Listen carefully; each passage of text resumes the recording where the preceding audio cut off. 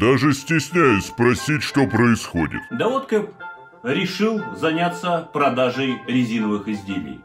Все банально. Деньги на донат нужны. Да не бзди ты, ракуха, будет тебе пуха. По ссылке проходишь, все нужное находишь. Бесплатная рулетка, отличная броня и могучие пушки. А при первом пополнении счета плюс 100% кредитов придет. Оу май, вот это подойдет.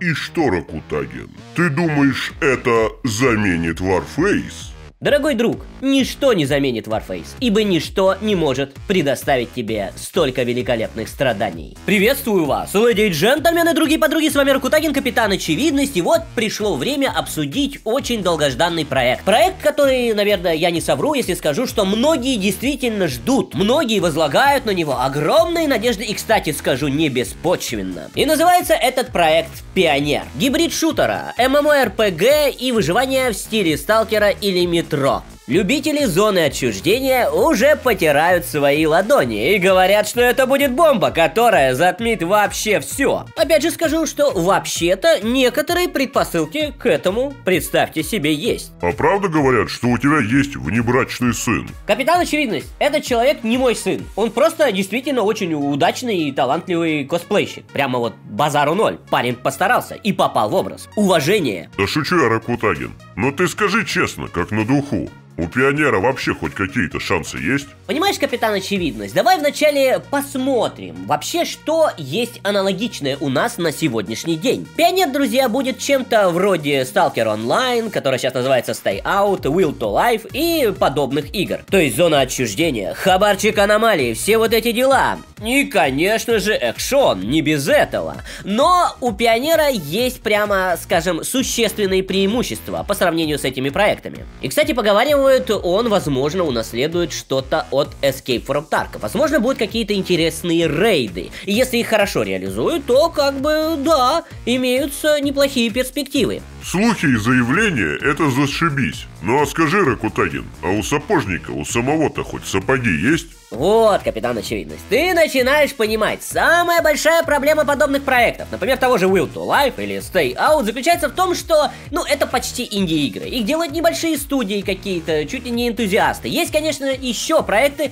которые вообще делают мододелы. Типа каких-то модов для онлайн-игры на платформе DayZ или на платформе Сталкера, их там анонсируют как отдельные проекты, работают там команды энтузиастов. Это, конечно, все замечательно, но профессиональный подход, сами понимаете, это совершенно другое. Это когда работают серьезные студии, серьезным опытом и, конечно же, серьезными бабками. И вот тут, друзья, как раз тот самый случай. Здесь работает профессиональная студия с профессиональным штатом, многие из которых имеют богатый опыт разработки хороших, качественных качественных игр, но помимо этого, одним из спонсоров данной игры выступает китайский медиагигант Tencent. Данная компания в определенный момент э, заметила, скажем так, э, достаточно интересный, амбициозный проект Пионер и сказала, Хм, это круто. Посмотрели, пообщались, да решили как бы чемоданы занести. Почему бы и нет? Выкупив, конечно, какую-то определенную долю студии. Детали сделки суммы не раскрываются, но судя по тому, как вы видите, выглядит проект,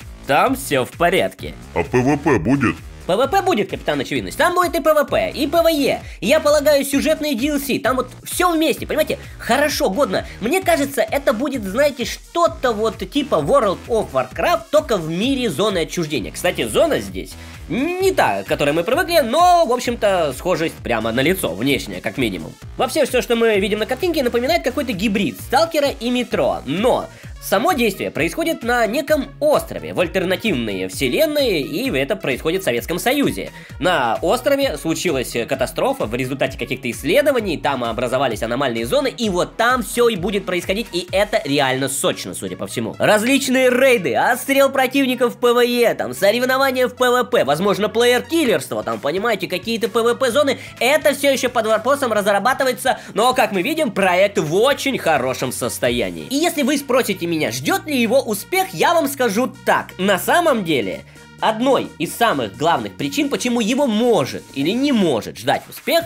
будет сам геймплей. На данных кадрах вы можете видеть э, активные перестрелки, то есть такой экшончик а-ля сталкер, тот же метро, то есть прям шутан такой, качественный, годный, нагибной. Прямо выглядит все великолепно. Но здесь может быть один подводный камень, который ваши впечатления на самом деле серьезно испортит. Такое не исключено, вы можете разочароваться. И я объясню тут в чем дело. Дело в том, что примерно так же о себе, например, заявляет тот же Will to Life. То есть вы можете увидеть э, какие-то красивые кадры у кого-то, еще что-то там, в каких-то роликах, да. Но по факту, когда ты заходишь в игру под названием Will to Life, ты очень скоро понимаешь, что тут неплохая музыка, хороший саундтрек, да, что-то такое в духе зоны отчуждения, какие-то персонажи разговаривают. Но сам геймплей, извините, скажу как есть. По сравнению со Сталкером, там, Метро и так далее, он крайне уныл. Это обычная гринделка, где первыми твоими противниками будут какие-то хедкрабы а-ля из Скайрима, а также крысы. И крысу ты так просто не убьешь, тебе придется еще не раз в нее выстрелить. То есть, понимаете, такая типичная ММО РПГ гринделка. И ты очень скоро понимаешь, что от шутера здесь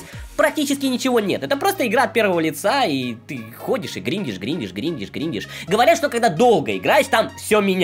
Ну, ребята, понимаете, проект, он как устроен? Вот максимум один день поиграл, скорее всего, несколько часов. Если тебя не зацепило, ты играть не будешь. Ну, вот так оно устроено. Вот эти все разговоры в самых разных проектах, ты не понял, ты должен там поиграть неделю. Да никто не будет играть неделю, и таких единицы будет. Поэтому и онлайн в таких проектах ну, прямо скажем, не самый высокий. То есть нужна динамика, понимаете? Нужен экшон. Нужно, если не классический шутер, то нам нужен, понимаете, не какой-нибудь классический ММО проект, а нам нужно что-то типа какого-нибудь Hellgate London. Это та же Диабло от первого лица. Вот такое зайдет, вот такое пойдет, вот такое игроки, даже которые не фанаты MMORPG, они примут, потому что это больше похоже на классический шутер. Это бьешь, стреляешь, хедшотики какие-нибудь, там, в общем, все сочно, быстро, интересно, классно, активно. И на данный момент, друзья, меня радует то, что на роликах, да, на тизерах, трейлерах всяких, это выглядит именно так. Это выглядит, что тут достаточно низкий ТТК, что противников некоторых можно там вообще хедшотом валить. То есть это выглядит круто. Это выглядит как в первую очередь экшен, как шутер, а потом уже там ролевая составляющая и так далее.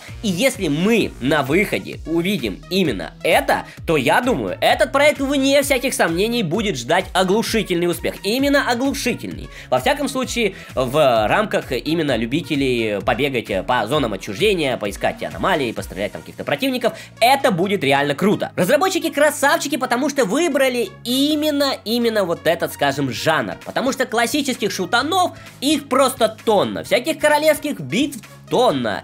Игр а-ля гринделка, типа тоже вот такое, все там типа шутер, не шутер, их тоже очень и очень-очень много. А вот действительно классных, высокобюджетных проектов в стиле сталкера онлайн. Их просто, ну, не существует. Я о таком никогда не слышал. Эти проекты либо малобюджетные, либо совершенно не то, что от них ожидали. Понимаете, это совершенно не то. И если кто-то сможет действительно создать полноценную зону отчуждения, классную, интересную, не только просто гринделка и онлайновые какие-нибудь забавы, но при этом и какой-то сюжет, и сюжетные дополнения, интересные квесты, то есть действительно соединить качественное PvE, сюжетную кампанию, какие-то там истории и так далее, с качественным же онлайном, то есть качественные рейды PvE, там, может быть, какие-то замесы PvP, клана и т.д. и т.п., то вот это будет ну просто бомба, друзья. А игрокам Warface зайдет или нет все-таки?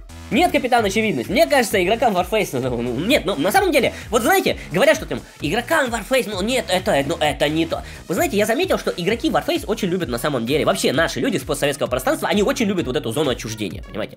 Вот это разруха, как-то как привычно все вот это вот. И ты такой, знаешь, кайфуешь, сука, ну, как дома все прекрасно, понимаешь? Душевно. Все такое ржавое, такое, знаешь, блин, прикольно. Радиация, там. А, сука, как в краю родном. Смех смехом, но, блядь, как бы не накаркать. Да.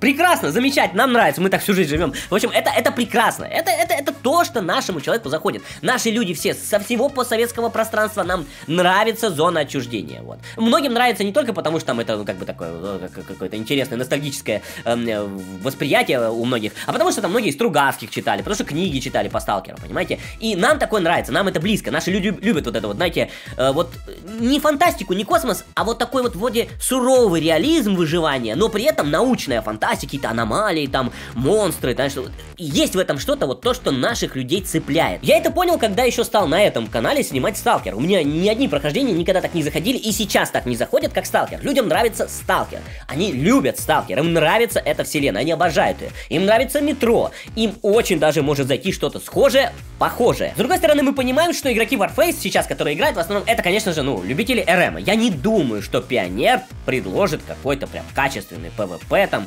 киберспортивный, именно вот в том плане, что вам понравилось вот так вот именно соревновательно на 100%. Я думаю, это немножко другая история. Да, тут тоже будет PvP, может даже какие-то соревнования будут участвовать устраивать и так далее, но здесь это не основа, это зона отчуждения, это бесконечное приключение, это поиск хабара, это какие-то войны группировок, вот такое что-то, понимаете? Это другое, это другая атмосфера, это совсем не то же самое, что тактические командные шутеры с установкой бомбы и так далее. Но, при этом, как я сказал, многим игрокам Warface, скажем, тот же Сталкер заходит. Поэтому я не исключаю, что на самом деле многие, если и не уйдут из Warface Пионер, то как минимум параллельно будут в него играть. Это не исключено. И я думаю, даже почти наверняка, если он выйдет, но если и если. Тут будет целых два. Если и если, когда он выйдет, и если он реально будет классным, как я сказал. Прежде всего шутан, прежде всего экшон, а потом уже RPG составляющая. Если он будет классным, динамичным, то вне всяких сомнений многие будут параллельно с Warface играть и в Пионер. Я даже не сомневаюсь. Таких хватит. Признайся, сам-то сильно ждешь? Есть такое, капитан Очевидность? Очень и очень жду. Э, как я думаю, многие из вас ждут. Однако, друзья, я хочу вас сразу предостеречь от завышенных ожиданий. Не надо себе строить кумира, мол, вот это пионер, он так выйдет. Тот... С Калибром было то же самое. Вот. Э, и с другими проектами до этого. Понимаете, мы не знаем, что это будет на самом деле. Выглядит круто, выглядит классно, выглядит, как говорится, базару ноль. Придраться не к чему. Просто обалденно. Извините меня, там и профессиональная озвучка, профессиональной студии, там, я не знаю, огромное количество актеров, огромное количество диалогов, все просто супер.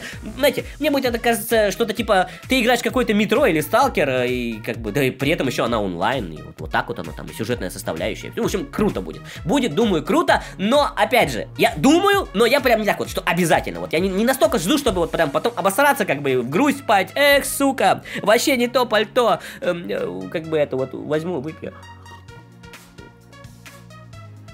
Ох. Кэп, это с чем? Ягоды Гойда. Да? Я думал, херня какая-то. Ягоды. В общем, возлагаю некоторые надежды на проект, но боюсь прямо очень-очень надеяться и возлагать слишком большие надежды. И вас призываю к этому же. Не надо себе сотворить какую-то игру кумира. Не надо, не надо. Раньше времени не стоит. Выйдет, попробуем, и тогда уже поймем, что же перед нами такое на самом деле. Но пока скажу, вот прям как есть, это потенциальная игра номер один среди подобных. Потому что подобных почти-то нормальных и нет. Это какие-то маленькие студии делают, либо вообще энтузиасты. Пока что Пионер это, наверное, самый амбициозный и самый перспективный сетевой проект в зоне отчуждения.